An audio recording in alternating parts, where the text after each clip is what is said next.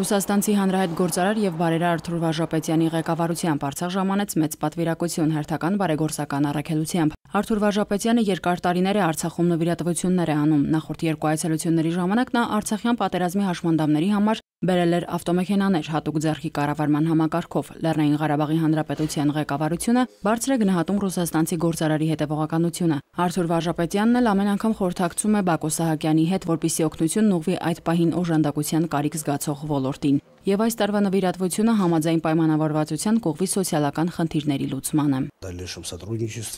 Բակո Սահակյանի հետ մենք խոսեցինք հետագա համագործակցության մասին, որը կներառի մանկապարտեզների կառուցումը, օգնություն զոհված ազատամարտիկների ընտանիքներին։ Մենք կշարունակենք օգնել այս հարցերում։ Առաջին անգամ չենք Արցախում եւ իրականացնելու ենք բոլոր նախատեսված ծրագրերը։ Արթուր Վարժապետյանը փաստում է, որ ամեն տարի այցելելով Լեռնային Ղարաբաղ նկատում է փոփոխություններ եւ հույս ունի, որ իր տրամադրած միջոցները նույնպես կնպաստեն երկրի առաջընթացին։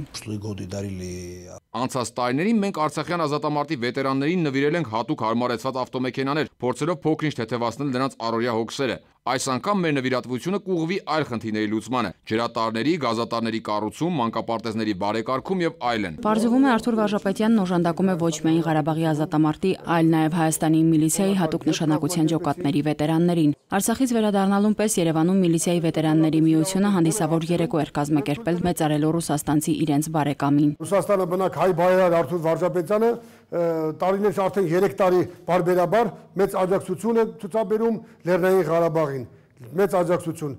ֆինանսական մեծ աջակցություն եւ կարողանում է գոնե մինիմալ հոգսերը կարողանում է հոգալ Լեռնային Ղարաբաղի ծաղկման եւ բարգեւաճման համար, որի համար մենք երախտապարտ ենք եւ մեր խորի շնորհակալություն ենք հայտնում մեր հարգարժան հայ հայոց զավակ Արթուր Վարժապետյանին։ Որպես երախտագիտության նշան Արթուր Վարժապետյանը ապարգևատրվեց Միության հոբելյանական ոսկե մեդալով, ինչպես նաև հայ-ռուսական կազակական միավորման Վարդան Մամիկոնյանի շքանշանով։ Շնորհել միլիցիայի հատուկ նշանակության ջոկատների վետերանների միության 20 տարվա հոբելյանական մեդալը ոսկյա։